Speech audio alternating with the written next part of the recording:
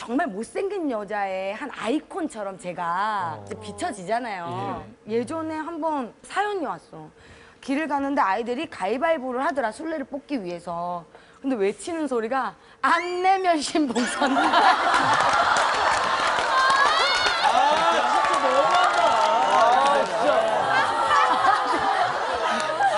솔직히 제가 그 원곡을 알잖아요. 원곡 알잖아. 근데 애들이 정말로 신봉선이 되기 싫어서 얼른 얼른 낸대요. 아니 근데 말씀 그렇게 하시면 김원선 씨 닮은 연예인 많이 화제됐었어요. 한지민 씨도. 한지민 씨, 태연 씨, 뭐 아이유 씨. 아이유 씨. 아이유 맞아요. 씨. 네. 사실 아이유 씨 신인 때 그 딱 보니까 제가 봐도 약간 닮은 것 같아.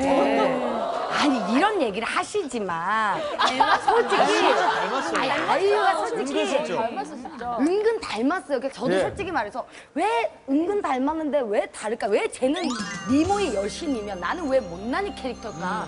이렇게 연구를 해봤는데 아이유는 되게 땅 좋은데 예. 집을 잘 지었어. 아, 지, 집은 이게 똑같은데 예, 지대도 좋고. 땅과의 예, 위치가 근데 저는 너무 협곡에서 나는 집을 지었어. 막입 나오고 막 이런. 사실 제가 대한민국의 못난이 캐릭터의 한 아이콘이지만 예. 사실 제 못난이 캐릭터에는 거품이 좀 많아요. 사실 이렇게 뭐 실제로 보면 그렇게 못생기지 않았잖아요, 사실.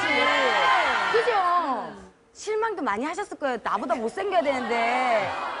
뭐, 본인들보다 예뻐서 실망 많이 하셨을 거예요. 근데 사실. 윤현 씨, 우혁 씨가 진짜 솔직하거든요. 예.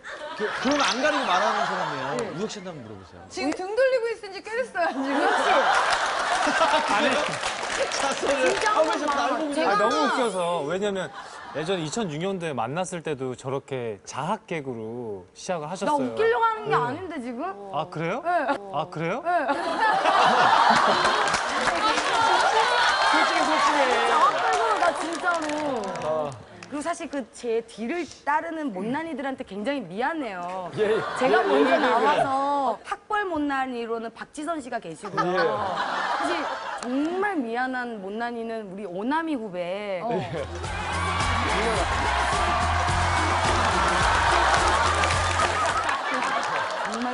실제로 보나 TV로 보나 늘 한결같이 좀 완벽한 캐릭터인데 예. 제가 선배로서 그 많이 갖춘 애를 좀 이렇게 빛을 못 보게 해서 너무 미안해요. 아, 저는 오나미 씨 저희 드라마 잠깐 까메오 예, 출연해서 예. 봤거든요. 예.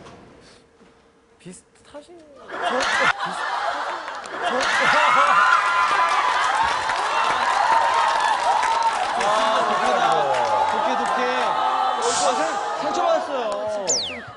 진짜 우리들 사이 우리 같은 캐릭터 사이에서는 봉선 언니는 정말 고현정 씨 급이세요. 아, 진짜 농담이고. 저도 제가 못난이 계보에 들어간다고 생각을 해본 적이 단 한 번도 없었어요. 왜? 아, 진짜. 아니, 이렇게 보면은 진짜. 저는 진짜 개그우먼 한 다음에 못생겼다는 소리를 처음 들었다니까요. 나도 처음 들었어. 진짜 인터넷에 보면요. 신봉선, 정주리, 오나미 이 셋 중에 사귀려면 누구랑 사귈래? 이게 진짜 네티즌들끼리 야, 진짜 어렵, 어렵네요. 예. 어, 아니야 그 중에 그래도 내가 표는 많아요. 좀 억울한 게 예. 브라운관이 아름다움을 다 못 잡아내는 것 같아요. 조금 그게 무슨 이유인지는 모르겠는데 실물이 훨씬 예쁘지 않아요? 진짜로. 그죠? 최소한 브라운관보다는 그죠? 본인이 스스로 외모에 자신이 없으면 절대 저는 제목을 쓸 수가 없고요. 맞아요. 절대 저렇게 당당하게 이것을 희극으로 만들어낼 수가 없습니다. 예. 그래서 누구보다도 이 세상에서 자기 자신을 사랑하고 이 세상에서 자기가 이쁜 줄 알고 있는 맞아, 이 시대의 진정한 이응인 아닌가 이런 생각을 해봅니다.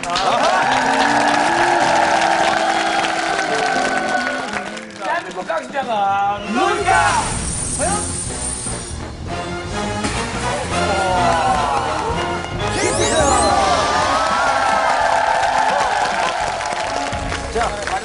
제시해 주시기 바랍니다. 자, 마지막 선수는요. 세월이 지날수록 점점 더 상큼해지는 아주 미스테리한 여배우입니다. 정나 정나 김정나!